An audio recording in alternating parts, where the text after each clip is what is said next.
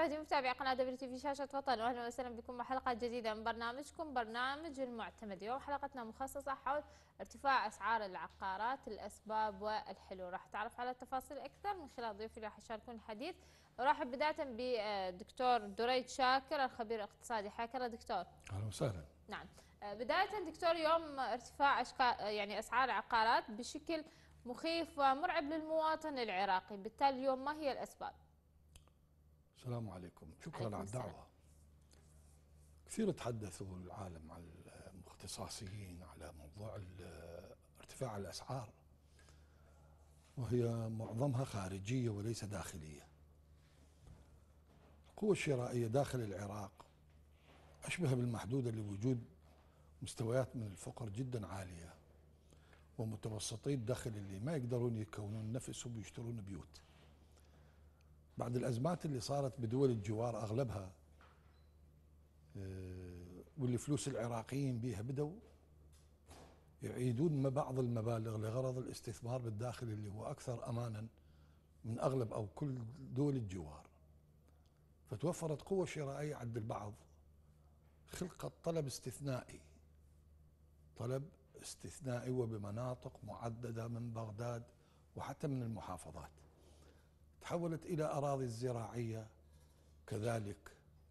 فصار طلب من أصحاب رؤوس الأموال وليس من المواطنين وأن الطلب من المواطنين محدود نتيجة محدودية الدخل ومحدود نتيجة عدم جدية كل المسؤولين المعنيين أو المعينين. نعم. يعني إحنا لاحظنا كم مبادرة صارت على الإسكان. والمضحك أكثر كم وزير جاء على الإسكان؟ والأكثر إيذاء كم وزير تحدث بإسكان الموظفين؟ ماكو نتيجة. ماكو نتيجة. مبادرات البنك المركزي ثلث المبادرة مال الإسكان ما انسحبت. 31% نعم. من مبادرة الإسكان. يعني هناك معوقات الجهات المعنية متى تنتبه لها. يعني وزير ورئيس وزراء يطرح مشروع وما ينفذه كان صار خففت الأمور على المواطن. رئيس وزراء قرار وتوزيع أراضي ومبادرة ياخذها تصير ورقية وبدون متابعة. زين كم وزير تولى وزارة الإسكان؟ عديد من الوزراء. تمام؟ نعم. وزير الإسكان ما استطاع يوفر لوزارته هسه ما لازم بقية الوزارات.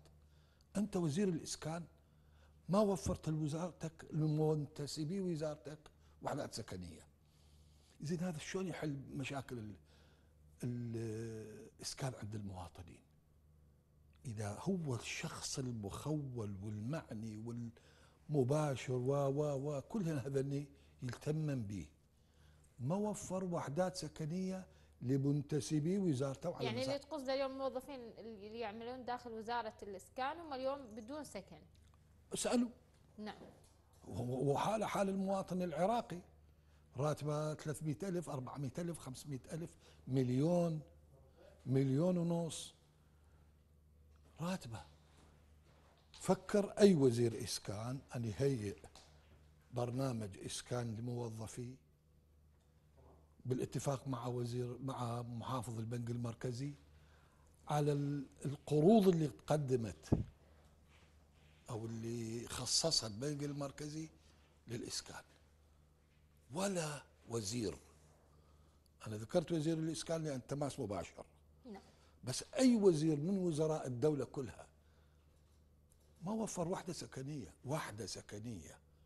برأيك شنو السبب؟ الخلل وين؟ فساد سوء تخطيط عدم الاهتمام عدم شعور جدية الموضوع بين بيناتهم. يعني من يقعد مجلس الوزراء بأي مرحلة من المراحل ويناقش أزمة السكن. من المعني بها يعني وين نطلع نروح نجيب لنا وزراء من برا؟ غير أنتم المعنيين؟ بادر البنك المركزي والله ما أدري حجم المبادرة قلت؟ كانت مال الإسكان. فكر وزير أن يجي مدير عام يبادر. ما لاحظنا. طبعا العراق ده يزداد بالسنة 800 700 ألف. شباب ده تكبر. يريدون بيوت يريدون سكن. قاعدين ويا أهلهم يريدون سكن. ماكو. يعني الحمد لله هو بكل شيء ليش ماكو الحكومة اهتمام اليوم ما تضع خطة لموضوع النمو السكاني اللي يصير 850 ألف إلى مليون. وإحنا اليوم بتزايد. سنويا أنت تصوري لازم توفرين ومن أزمة السكن خاصة من أهملت سنة أو سنتين صارت عقدة صارت مضاعفة. يعني مرة يقولون أربع ملايين وحدة سكنية نريد. مرة يقولون خمس ملايين طلعت وزارة التخطيط قالت عدد حملة السندات إيش قد بالعراق كم مواطن عنده وحدة سكنية أو أكثر هاي ما نعرفها ماكو دخل. إحصائية ما ما, ما سامعين عنها وليش الحكومة اليوم ما تسوي إحصائية؟ هو 7000 ليش أكو؟ ليش بس على السكن؟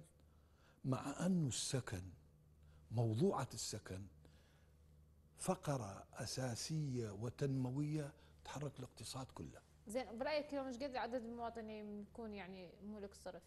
ما أعرف والله. إذا بالمية. لا أريد ما أعرف يعني 20 30% يعني نسبة ضئيلة. طبعا ما أكو إضافات. يعني إضافات اللي صارت على التجاوزات أكثر من الإضافات الرسمية.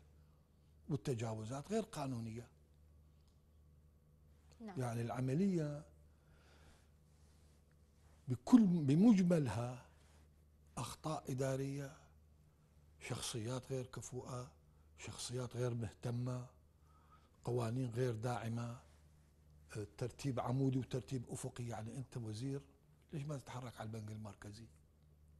ليش يوم ما نلتجئ للبناء العمودي بدل الأفقي؟ ما مشكلة. بس اتجهوا بناء عمودي بناء أفقي والمشكلة الأكبر بس كبناء عمودي يوم يحل من أزمة السكن. يعني بناء مجمعات سكنية أكو. بشكل عمودي يوم تفرق ما أكو. هو أنت تريدين الحل ما أكو بناء عمودي. يعني إيش قد يبنون بالسنة؟ مئة ألف؟ وليش إحنا ما نزيد هاي الوحدات؟ مو إحنا. هذا المسؤول. ليش ما يفكر؟ ليش ما يتحرك؟ هسه ما نريد يابك كل سنة عشرة بالمية من موظفيك انطيهم وحدات سكنية. قعدت أربع سنين صارت أربعين بالمية. اجى الوزير الوراك هم يسويها. هسه ما طالبنا شغلة مستحيلة. ما طالبنا. كلكم بدها تجيكم شركات وهذا يعني ما يحتاج لضمان. يعني يبنون مجمع سكني 12 لمنتسبي وزارة التربية. نعم. بالعراق كلها. لمنتسبي وزارة الدفاع. كل وزارة خصص لها كل مجمع وزارة وأجمعها كلها في مدن جديدة. نعم. اليوم عندنا هواي قطع فارغة ليش ما يستغلوها؟ والله العشائر ما تقبل. شنو دخل العشائر هي؟ ملكية عندها. تجيك مسلحة وهي واحدة شابكة باللخ. يعني دكتور اليوم على أطراف بغداد نشوف القطع اللي باقية فارغة. كل ما أكو مستفاد لا دولة ولا مواطن من هاي عندها. اسمها؟ العاصمة الجديدة مالنا الرفيلة. اللي كانت يم المطار؟ نعم. هواء في شبك. يعني بدنا نشعر؟ أكو جدية. وزير الإسكان. يا سيد وزير الإسكان السلام عليكم. منتسبيك في جمهورية العراقية. عدا الإقليم وانت رجل كردي. هي لهم وحدات سكنية معتمد على قروض البنك المركزي. وهذا موظف. هو يكفل العالم. ليش ما يكفل نفسه؟ سواء عنده وحدة سكنية أو ما عنده. إن شاء الله يريد اثنين على قد راتبه ويأخذ فلوس من اخوه يبني له. أنا من تكون عندي يعني قابلية للتفكير وتكون عندي إمكانية الحركة. هاي كلها تسهل. وأسهل أسهل أزمة. ممكن حلها هي أزمة السكن. أسهل أزمة. لأن عليها طلب وبعدين يعني صبري بتبنين غرفة أنت بالبيت إضافية. نعم. إيش قد يدك مواد؟ وايد تكلف. مواد جديد مو كلفة نعم. مواد. أنا أريد 30% من المواد تشتريها من المنتج الوطني. كم معمل بمعمل شغلتي؟ وكم مواطن يشتغل؟ صبري أنا أحتاج خمس ملايين وحدة سكنية. يعني هاي حلول.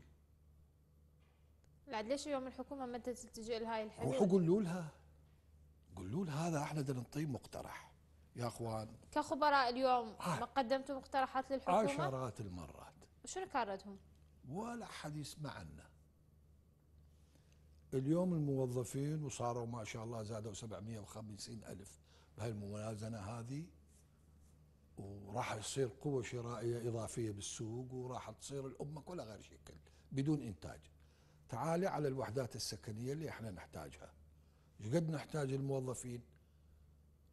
خمس ملايين موظف عندنا ست ملايين ثمان ملايين. خصصوا لهم كل واحد وحدة سكنية.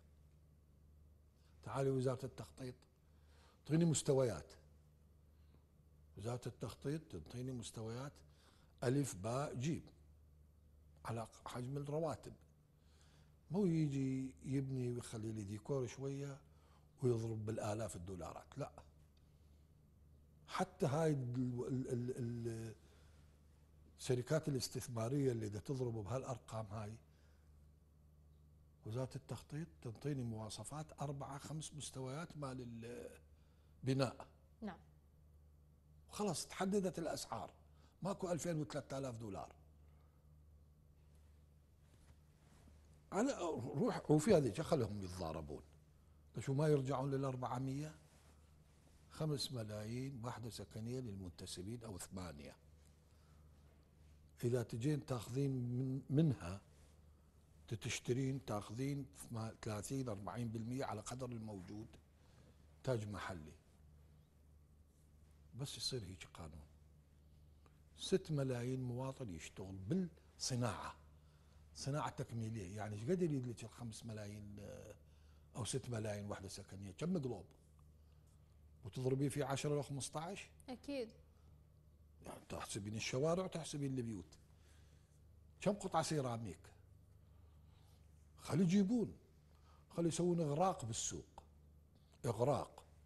ويجيبون. بس أنا مصدر قانون ياخذ 30% أو 40% حتى لو تكون بشكل متسلسل. شو يصير؟ إنتاج وطني. واطلع كشف. دعم للانتاج الوطني. راح تنمو صناعة عندي. نعم. مو وأكثر صناعة. أيادي تشتغل. عاش ملايين. نحل من أزمة البطالة وأيضا كل شيء تحلي كل شيء تحل. يعني شنو؟ واير ما نقدر نصعد نصنع. تعرفين بالتريليون متر واير يريد لنا اللي خمس ملايين وحدة سكنية. كم واير؟ رايحة رادة بالبيت وايرات. نعم. انابيب اللي اذا إذا ال ال ال ال الوايرات مخفيه أكيد راح يكون طلب أكثر على الأسواق في حال إنه بنوا هاي الوحدات السكنية.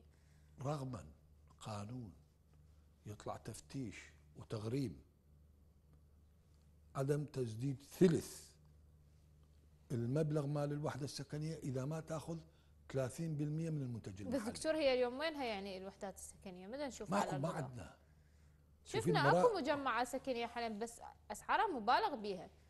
خلي يسوون أسعار. أنا هاي ما تهمني. إذا بادرت الحكومة على إنشاء الوحدات السكنية للمواطنين شوفي ست يعني أنا أعيدها وأقول أنت وزير ومكلف لو معين ما معني. نعم. منتسبيك 200 ألف. منتسبين الوزارة اللخ 500 ألف. وزيرين ما يقدرون يروحون على هيئة الاستثمار ما يقدرون يقدمون. طلب يقول له إحنا دراسة عندهم متكاملة توزيع بالكرخ بالرصافة جنوب بغداد شمال بغداد بالأنبار بالحلة بالبابل بالنجف. تعرف عدد منتسبيك؟ نعم أكيد عندهم إحصائيات. قطعة أرض. رأسا تجي وزارة اللغة تسوي يمك يعني عملية ما يريد لها ما أعرف يعني ما ما ما, ما أفتهم شنو شنو الصعوبة اللي يشوفوها بها ما راح يخلون المخصصات من عندهم. ما راح يخلي ولا فلس هاي جمهورية العراق كلها. راح تجي شركات موظف هو ده يضمن الناس. ما يضمن نفسه. أكيد يكفي نفسه يعني دكتور اليوم نشوف ارتفاع أسعار العقارات أيضا بالإيجار. يعني يوم أبسط إيجار ده يوصل 500 ألف. ست زيادة سكان كثرة الطلب. صلوات على محمد كثرة الزواجات يريدون يقعدون. وماكو وحدات سكنية إضافية. يسوون مشروع هسه أكو فكرة يسوون مشروع واحد لأخ مثل بسماية. ها مشروع. أنا أريد لي بالسنة 300 ألف وحدة سكنية 400 ألف وحدة سكنية. وبهاي يصير فرد خمس سنين يلا أقدر. أو لأن أنا عندي زيادة سكانية. تعال يا شريك عندنا نمو؟ 750 ألف 800 وصار يعني دكتور يوم عندك المناطق الشعبية يعني كل بيت تقريبا ب آه، شباب متزوجين. هم وزوجاتهم وأطفالهم. هذولا هذولا كل موظف أكو إمكانية انطيه وحده سكنية زائد أي عامل. أي عامل يشتغل بالقطاع الخاص وعنده ضمان. نعم. هاي إضافة للدولة. أي عامل عنده ضمان راح يكفل الضمان. ضمان بس اليوم هو يعني قطاعات خاصة ما بها ضمان. هاي صوت لما ماكو تثقيف. مو مو صوت الضمان. إحنا إحنا إحنا كمعنيين ومعينين ومسؤولين. يعني شنو بيدنا اليوم ممكن نسوي؟ ستثقف العالم. تعال خلي خلي هسه يطلع قرار. أي واحد يروح يسجل بالضمان ويدفع القسط وراتبه مستمر. زين. انطي وحده سكنية. باكر يصير ازدحام. بس منو منو ينتبه لها؟ منو يفكر بيها؟ ماكو. عشرات المرات. هذه هاي عملية شراء 30 أو 40 ونبدأ بالخمسة بالمية لأن هسه ماكو إنتاج وطني. نبدأ. الصباغة الحديثة الكهرباء غيرها هاي الوايرات الأنابيب ملايين الأمتار إذا مو مليارات أنابيب بواري. نعم.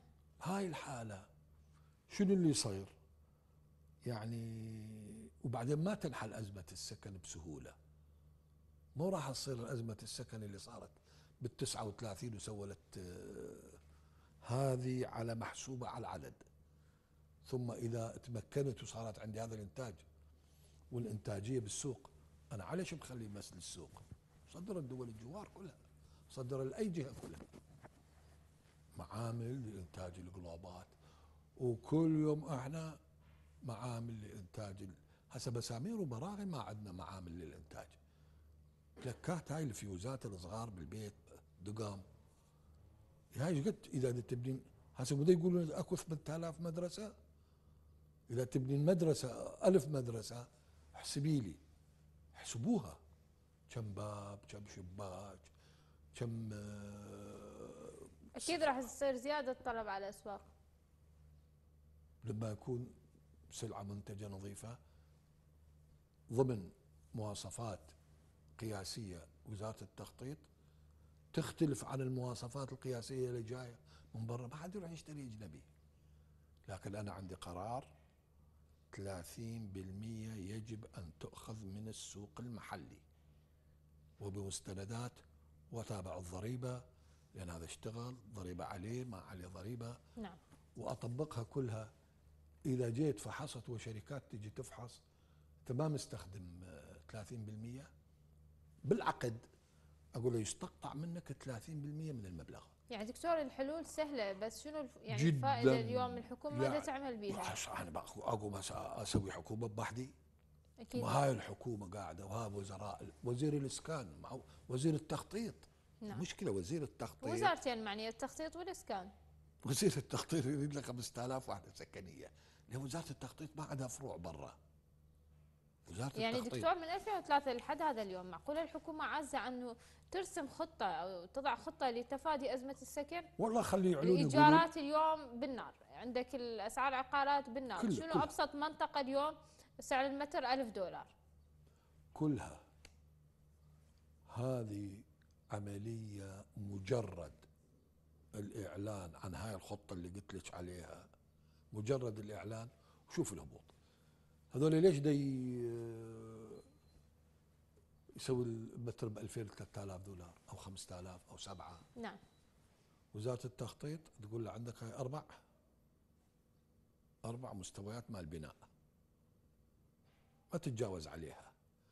كلفة المتر مال بناء هالقد. أنا عليش بخلي وزارة التخطيط؟ شو كبرها إيش طولها وموظفيها وزير ووكلاء ومستشارين. أنت تاجر. نعم. راح أخلي لك 20% 30% ربح. أكيد. يعني هم اليوم دا يشجعون؟ عدم التزام الجهات المعينة عدم معرفتها عدم إمكاني. هسه أكو عندنا زين اليوم ليش ما أسوي قانون؟ يعني أحدد أسعار الإيجارات وأسعار العقارات أنا ما أقدر أحدد لسبب. أنه كل واحد يريد يبني بكيفه. لكن من أحدد البناء الإيجارات بها مجال أن ترتفع وحسب الطلب كذا. بس إحنا ما عندنا طلب فعلي. ست إحنا عندنا 20% 25% وأزيد دخل منخفض أو معدوم. منين يجيب له طلب على البناء؟ يعني دكتور اليوم قلت لك أبسط راتب اليوم مثلا نقول مليون. هو مأجر ب 500 تبقى له 500 هو عنده عائلة عنده مولده عنده إنترنت عنده أطفال بالمدارس شو تكفي اليوم؟ حتى المليون ونص ما يقدر يوفر له وحده سكنية. حتى المليون ونص راتبة كان متزوج أو حتى إذا ما متزوج نعم. من يريد يتزوج مكملاته وعلى ما يريد يهيئ اليوم أيضا بدنا نشوف المشاكل العاليه بدها تصير بسبب يعني أكثر من شاب قاعد نفس البيت. أكيد. تزيد حالات الطلاق. مو بس يعني انت دعينا عن الطلاق الرسمي اللي راح يوصل. شوف الانفصال وكل من قاعد ببيته وقاعدين بالبيت وما حدا له غرض بالله وكلها. اكو من يستر على نفسه وما يتطلق. بس خراب. خراب ومنو يتحملها؟ هاي اللي جت مرة 2003 لا صورة ولا شرشوبة ما اكو هاي وحدة من عشرات المشاكل الاقتصادية الموجودة. لكن هاي أسهلها. يعني عندي عشر معامل مال سمنت بس يصير هذا القرار أكو إمكانية أن أسوي عشرين معمل. انابيب كتل كونكريتية. شبابيك هسه البيت كم شباك بي أنا ليش كلها مستوردها؟ يريد دعم القطاع الخاص؟ أنا مقدم ثلاث مقترحات لوزارة الصناعة. نعم. كل مشتريات الدولة موظفي الدولة اللي هم 8 ملايين موظف كل مشترياتهم 30 إلى 40% من السوق المحلي. زين. تقول لي هاي شو ما تكون عندك صناعة. الشغلة الثانية الوحدات السكنية لمنتسبي دوائر الدولة. ليش؟ والعامل المسجل بهيئة الضمان. هذولا ياخذون وحدات سكنية هم ضامنين العالم يضمنون نفسهم. فهاي الحالة ويقوم يشتري من السوق. نمل عند الاقتصاد بشكل حتى ما تتدخل الحكومة راح يشتغل القطاع الخاص وينمي. خلي يجيبون استيرادات يسدون ال 70% خلي تصير أكثر. لكن أنا عندي قرار يقول 30 40% تدريجي يصعد. مع ازدياد الصناعة الوطنية. أكو صناعات ما أقدر أتدخل بيها بس اللي يمكن 15 صناعة تدخل نعم. فيها. يعني 5 ملايين لها 30 40 مليون شباك. نعم. دكتور دريد خليك يعني ينضم معي الآن الأستاذ قاسم هادي الخبير العقاري. حياك الله أستاذ قاسم. حياك الله أستاذ قاسم.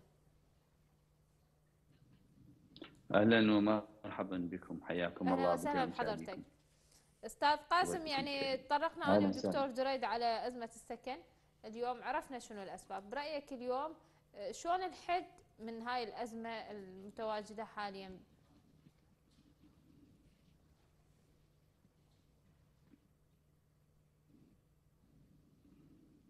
بسم الله الرحمن الرحيم. أزمة السكن هي أزمة متجذرة ومتأصلة آه، في العراق. هذه الأزمة بدايات عمرها أكثر من نصف قرن في في بدايات القرن الماضي. العفو أنا الصوت جاي يرجع عندي ذاك خلل مشكلة بالصوت نعم أستاذ قاسم اني أسمعك الصوت واضح عندي. المشكلة يعني من عندك. نعم تفضل أكمل بس حديثك. جاي, جاي الصوت يرجع عندي صدى نعم نعم الآن هسه تمام آه الصوت تمام. أستاذ قاسم؟ أي نعم كما قلت لك إنه تمام. تمام هسه الان الصوت هذه الأزمة هي متجذره وترجع جذورها التاريخية إلى سبعينيات القرن الماضي آه أزمة عمرها أكثر من نصف قرن آه كثير من المشاكل والمعوقات التي جعلت هذه الأزمة تتفاقم آه، ما قبل 2003 كانت لدينا أزمة في قطاع الإسكان ما يقارب مليوني وحدة سكنية والآن ما بعد 2003 نتيجة الإهمال. في هذا الملف نتيجة آه، الجهات المسؤولة عن هذا الملف هي لم تقوم بواجبها وبدورها كمؤسسات. آه، في أداء واجبها في تجاه الإسكان والسكن وقطاع الإسكان. نعم. هناك زيادة مضطردة في أعداد السكان. عدم وجود خطط مستقرة ومستمرة. آه، وثابتة في آه، الإسكان كل هذه العوامل أدت إلى هذه الأزمة ونتائج أخرى أيضا آه، أضافت هذا الأمر الهجرة من الريف إلى المدينة، التركز في مدن دون أخرى نتيجة المدن التي تحمل سمة سياسية أو سمة اقتصادية أو سمة إدارية أو سمة دينية. نعم. زين نعم. أستاذ قاسم وين دور الحكومة تجاه كل اللي يصير؟ الهجرة اليوم النمو السكاني اليوم ارتفاع الأسعار. ما شفنا دور للحكومة من 2003 لحد هذا اليوم. شنو يخلي حكومة عراقية عاجزة اليوم بإيجاد حلول؟ جميع الحكومات في بداية الثمانينات إلى تقريبا هو فترة التسعينيات هذا العقدين كانت الدولة مشغولة بالحروب حرب العراقية الإيرانية واجتياح الكويت حرب التحالف الدولي على العراق أصبحت مجهودات الدولة هي تتركز على المجهود الحربي وأهملت كافة القطاعات وقطاع الإسكان هو نال الحظ الاوفر من هذه الأزمة والإهمال. ما بعد 2003 الاضطرابات السياسية وسوء الإدارة والفساد المالي والإداري هو أيضا أثر بصورة مباشرة على قطاع الإسكان. وتاثير القطاع شنو المواطن اليوم قاعد بأبسط إيجار 500000 يعني هاي عد يعني إيجار رخيص. وتشوف يعني مثلا البيت تعبان أو اليوم الشقة اللي ساكن بها تعبانة ب 500000 زين هو راتبه مليون. اليوم المليون شي يكفي؟ واليوم هواي ناس يعني رواتبهم مليون. كل ناس يعني رواتبه 300 ناس 500 ناس 750 يعني حسب الدرجات الوظيفية. نعم آه، بالنسبة للإيجار أو توفير السكن أصبحت اليوم العائلة إنه راتب الزوج أو الزوجة أو أحد أفراد العائلة هو معظم هذا الإيراد أو الدخل العائلة يكون هو يتوجه لتوفير السكن والإسكان. آه، أغلب الرواتب هي 500000 و400000 أغلب الوزارات يعني هم الرواتب المليون دينار قليل يعني يا ريت مليون وحتى لو كان مليون لازم انه هذا انه عالميا أو هذا نظام عالمي أو النظام انه مجدي ان تكون سكن العائلة آه، لا يكلف أكثر من 30% من الدخل. يعني إذا كان راتبه مليون لازم أعلى نسبة إيجار هي 300 ألف دينار. طبعا إيجارات 500 ألف ما موجودة في بعض المحافظات في محافظة بغداد أو المحافظات التي تركز بها نسب سكانية عالية. الإيجارات مرتفعة جدا يعني الإيجار مليون 800 ألف وهاي يعني شقق سكنية لربما لا مساكن فعلا. يعني واليوم كله بالدولار أصحاب العقارات ما شاء الله ما متوفر نعم نعم زين المواطن اليوم شنو ذنبه؟ شلون يتفادى هاي الأزمة؟ هذه الأزمة حلولها ليس بيد المواطن ولا يمكن للمواطن أن يتفادى هذه الأزمة على المواطن هو أن يعيش واقع ويكيف نفسه مع هذه. ولكن اليوم واجب الدولة أن تقوم بوضع خطط في قطاع الإسكان، الاستثمار في قطاع الإسكان، إشراك القطاع الخاص بصورة فاعلة وجدية، جلب رؤوس الأموال. انت قطاع الإسكان يوفر إيراد اقتصادي جيد للدولة يعتبر رأس قاطره لمجموعة قطاعات يحرك الزراعة، الصناعة، التجارة، كلها مرتبطة بقطاع الإسكان يمتص نسبه عاليه من البطالة وأيضا هو توفير السكن هو حق دستوري في المادة 130 من الدستور. فهذا واجب الدولة أن تتبنى هذا الأمر وتتبنى هذه القضية بالسريع العاجل. الدولة أو الحكومة اليوم هي حاسة بمعاناة المواطن. إذا كل مسؤول اليوم بالدولة قاعد لك بأرقى منطقة. آه، لو يمتلك شقة بأرقى مجمع سكني آه، لأسعاره خيالية يعني يتغنون بها أصحاب العقارات فأكيد ما يحس بمعاناة يوم المواطن الفقير اللي ما عنده إمكانية وناس يوم راتب رعاية ما عندها. آه، الدولة والمسؤولين في الدولة مع الأسف يهتمون في قطاع الإسكان والسكن ووضع المواطنين في في فترة الانتخابات والدعاية الانتخابية. آه، نرى هنا وهناك تناثر آه، أكوام السبيس وأعمال الحدل والأعمال الترابية والوعود بتوفير السكن والأسكان. ولكن حينما تنتهي آه، ما نرى إلا مشاريع ومشاريع إسكانية على الورق. المشاريع القائمة حاليا هي تحارب من جهات نافذة وفاعلة وتؤدي إلى تعطيل هذه المشاريع مما يؤثر سلبا على حياة المواطنين. أزمة السكن في العراق لها تأثيرات سلبية كبيرة أثرت آه، تأثيرات بالقطاع الأمني وتأثير بالوضع الاقتصادي وتأثير بيئي بصورة مباشرة، تأثيرات اجتماعية في الوضع الاجتماعي هناك نسب عالية ومرتفعة سببها أزمة السكن، الإشكاليات التي تحدث بين العوائل ما بين زوجة الابن والأم، هذه كلها تثير المشاكل آه، نتيجة الاحتكاك والزخم السكاني في الوحدات السكنية فيحدث مشاكل اجتماعية ومشاكل بيئية. نعم، زين اليوم شلون نتلافى هاي الأزمة الحالية؟ ما هي الحلول؟ آه آه كل دول العالم توجهت إلى الاستثمار في قطاع الأسكان، يجب آه إجراء بعض التعديلات على قانون الاستثمار في العراق، آه، يجب إجراء بعض التفاصيل على التغييرات على أو التعليمات التي تخص الاستثمار في قطاع الإسكان. هذه أمور مهمة. الآن الدولة تمنح الفرص أو الاستثمارية في قطاع الإسكان ولكن القيود غير مناسبة وغير ملائمة. يصبح المستثمر هو من يتحكم بسعر الوحدات السكنية. مما تكون هذه الوحدات السكنية أسعارها مرتفعة جدا. فتكون خارج نطاق خدمة اصحاب الدخول المتوسطة وأصحاب قليلي الدخل. نعم، يعني أستاذ قاسم يعني تعرفنا على الأسباب والحلول هي قد تكون سهلة يعني اليوم الدول المجاورة يعني يمكن هي أفقر من العراق، لكن رغم هذا ما عندها أزمة سكن أو أزمة قليلة يعني لأن أغلبها التجأت للبناء اليوم الأفقي، لكن العراق بالحديث يعني التجأ لهذا البناء. اليوم ليش يعني ما يفضلون البناء العمودي؟ شنو الأسباب؟ آه، في بدايات يعني في بدايات القرن المنصرم أو بدايات هذا العقود الأولى من العقد الأول من هذا القرن كان المواطن يتجنب السكن في الوحدات السكنية العمودية.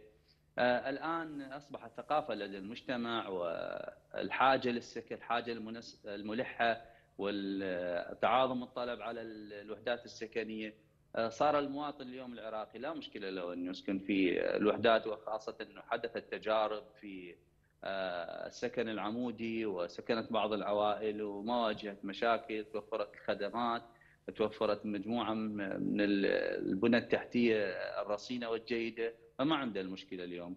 اليوم العراقي صح نحن مجتمع نرغب بالسكن الإفقي ولكن هو مكلف و كلف مالته عالية من ناحية البنى التحتية من ناحية المواد المستخدمة به. آه، يعني يكون البناء العمودي هو الحل الأمثل والأسرع آه، لحل أزمة السكن في العراق كحل مؤقت. نحتاج سنويا من 200 إلى 250 ألف وحدة سكنية. هذا عدد كبير. لدينا زيادة في أعداد السكان ما يقارب مليون إلى مليون و250 ألف سنويا. هذا رقم يحتاج إلى أعدادات جيدة ورصد وخطط رصينة أن تحل هذه المشكلة. نعم، أستاذ قاسم خليك أنا أرجع ويا دكتور دريد. دكتور دريد يعني الخطة اللي ممكن اليوم ترسمها لي الحكومة. والله تكلمنا بها نعم. يعني آه، الحكومة عندها 8 ملايين موظف. رأسا كل وزير يتهيأ لأن يبني لمنتسبيه. هاي الخطة ولا أكو أبسط منها ولا أكو أسهل منها. إذا الحكومة إذا رئيس الوزراء ينطي عهد بأن راح يوفر الأراضي ياخذ الأوراق وتروح. طلع رئيس الوزراء السابق الكاظمي ماكو. القبل عادل عبد المهدي ماكو. هي العملية ما تحتاج مقترحات. وفر الأرض عندك أنت من يشتري فورا. بدون دفعة أولية بدون قسط أولي رأسا يستقطع منه مجرد أن يسجلوه الراتب الوحدة السكنية باسمه وعدد المنتسبين 8 مليون. يعني دكتور اليوم أغلب المجمعات يردون مقدمة بالنسبة لي هذا القطاع الخاص. نعم. أنا دولة. زي اليوم هواي ناس ما متعينة أو ما عندها وظيفة بالدولة. إحنا قلنا إحنا قلنا موظف الدولة زائد العامل اللي يشتغل ودافع ضمان. زين. عندما تصير الدفعة الأولى ويأخذون 30% من المنتج الوطني راح تشغل الناس وراح يسجلون ضمان في سبيل أن يحصل. زين المواطن اليوم اللي لا يشتغل بقطاع خاص ولا قطاع حكومي؟ إيه هذا كله عامل اليوم. ولا ولا يحصل بيت. زين إحنا نريد له خطة حتى آه، نحل الخط- الأزمة. الخطة هيئة للأغلبية. هذول راح يجون يشتغلون على المنتج. يعني. دكتور آه، يمكن هاي الشريحة هي أكثر شريحة متضررة. لأن اليوم إيجار ما يقدرون يأجرون بسبب ارتفاع الإيجارات هو ليش ولا يقدرون هو يشترون ليش طابو انتشرت التجاوزات؟ ليش انتشرت؟ يعني التجاوزات ترى 20 25 متر الوحدة السكنية إلى ال 150 200 وأكو بالتجاوز ب 70 مليون ب 80 مليون و 150 مليون بناء بيت. كلفته هذا بالتجاوز. بالتجاوز نعم. فأنت الان يقول لك على وين أطلع برا؟ يعني الحكومة لا حلت موضوع التجاوزات ولا حلت. هسه منتسبيكم أنتم إذا تحلون منتسبيكم تجي العالم تلاقي لها أي طريقة أخرى. يعني أنت رجل آه، عامل وحتى العامل الاعتيادي إذا سجل بالضمان يوفر له بالشهر 10000 20000 يودعها بالضمان. هاي نسبة مئوية الضمان يضمن. يعني إذا 10 أو 20 ألف مثل ما ذكرت حضرتك يعني سنويا إيش قد تكون إحصائية؟ تشتري له شقة؟ قد ما يكون ما تشتري له لأن كل كل شغلنا بالأقساط. للموظف براتبه يشتري شقة. يعني اليوم عندك أبسط قسط هو يعني تقريبا 400 ويا المي والكهرباء. كل كل هاي أول ما يدفع قسط صارت له وحدة سكنية. نعم. بنيت الوحدة السكنية اجى سكن بيها والإيجار اللي يريد يدفع برا راح يصير إيجار وقسط. زين. راح يصير قسط يسدد وهو ساكن. أكيد راح تحتاج فترة زمنية لغرض التغطية. يعني برأيك إيش قد فترة نحتاج؟ يعني إذا أكو جدية بالعمل غير ما ما ما تطول أربع خمس سنين. مستحيل. زين. وبرأيك إذا الخطة مشت أو الحكومة مشت على هذه الخطة اليوم ممكن نحد من أزمة السكن اسعار الايجارات تنخفض والعقارات. مئة لأن كل الكل راح يشعر أنه أكو عرض ضخم وطارئ راح ينزل للسوق. نعم. مو من شركات استثمارية. نعم. فالنسبة سريعة بس بيها يعني صعوبة على الوزراء وصعوبة فهمها. ليش اليوم إحنا ما عندنا خبرات وكفاءات؟ هسه وينها؟ من دا يسمعها؟ وين الكفاءة؟ من من دا يسمعها؟ لا يعني كوزراء اليوم يا ما عندهم خبرة؟ هذا الموجود عندنا معينين وليش ما دولة المعينين هم اللي يشتغلون؟ مدى يشوفون يعني ليش بزمن عادل عبد المهدي وبزمن الكاظمي ما نطوا قالوا اكو قرار توزيع وحدات سكن اليوم أو قبل أسبوع وزير التربية يريد يسوي لكل منتسبي وزارة التربية وحدات سكنيه دكتور إحنا ما نريد بس أراضي. كلام. نعم إحنا ما نريد بس كلام. إحنا نريد آه اللي تقول لي فعل على أرض الواقع. اللي تقول لي لي؟ إحنا بدنا نحكي بدنا ننطي حلول. حلول حلول. يعني اليوم هو حتى اذا وزع القطع الأراضي. هاي القطع مراد لها بناء. طبعا. برادلها مواد إنشائية اليوم للبناء. شركات استخدمها. يابا هو هذا أنا أضمنه تضمنه وزارة التربية ووزارة المالية. قبل ما توصل الراتب يستقطع يتخلى في حساب الشركة اللي تنفذ. شنو اللي يريدون؟ تشتغل 10% 15% يلا تجي تسحب فلوس. بعدين تقوم تشتغل بفلوسنا. تقوم تجي تشتغل بفلوس المنتسب الموظف. نعم. على ما تحدل على ما تحفر على ما تعدل هو دافع له أربع خمسة أقساط.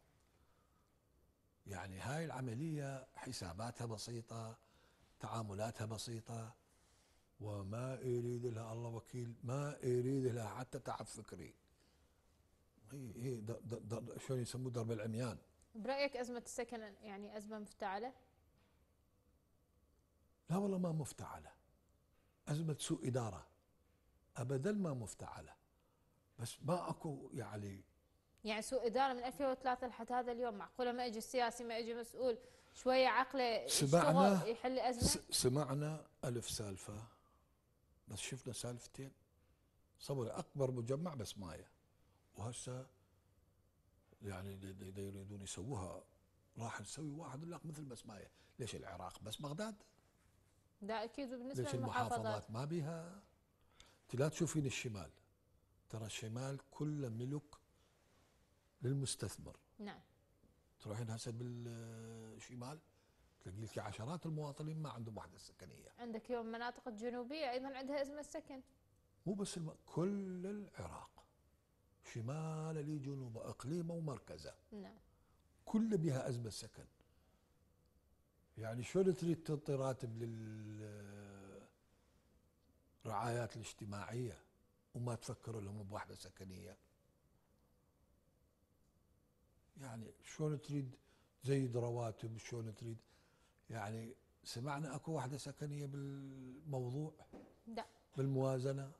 ما سمعنا واحد ما عنده راتب أو مواطن فقير اليوم عطال بطال انطت الحكومة وحده سكنية أو وفرت له قطعة ما. لازم تنطي. ترخص بعملية بناءات بناء أنت إذا كل محا كل وزارة تبني له عشرة آلاف. كل وزارة نعم. عم شركات العالم. يعني دكتور دا نشوف اليوم الجمعيات الخيرية الناس المتطوعة دا تلم تبرعات من ألف دينار من 10000 دينار. دا تبني مجمعات سكنية دا تبني دور. سكنية دا يوزعوها الايتام الفقراء بالناصرية بالناصرية نعم. وببابل يعني شباب. وشنو؟ هاي المواطنين ما ألف دينار. جاب سيارته الخاصة وذب له خمس أكياس سمنت جاب جاب وايرات. جاب جاب درزين قلوبات ما بالضرورة فلوس. هاي الفلوس يعني صارت شوف الاندفاع المواطن المواطن العراقي. نعم. دفاع رائع. اللي عنده غيرة. بغرض المساعدة. وما حد يعرفه. هي هاي الغيرة الوطنية هاي الوطنية. هاي الوطنية. نعم. هذا الانتماء. هذا يسموه انتماء. إذا مو للوطن الأب- ولد المحافظة وهو كلهم واحد. بس أكيد. مو أجي أنا أقعد أخصص لفلان محافظة لا. فلان محافظة إي.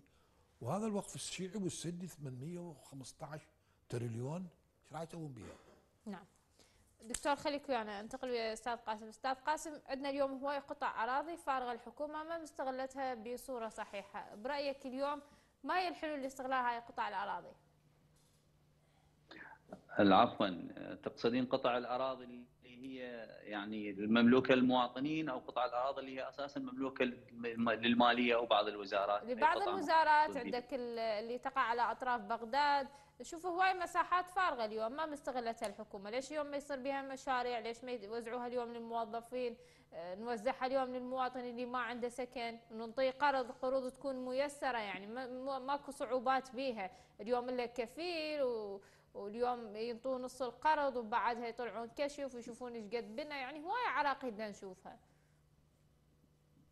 آه نعم إحنا عندنا هي مجموعة من المشاكل اللي آه تعوق هذا الأمر وتعرقل من العملية.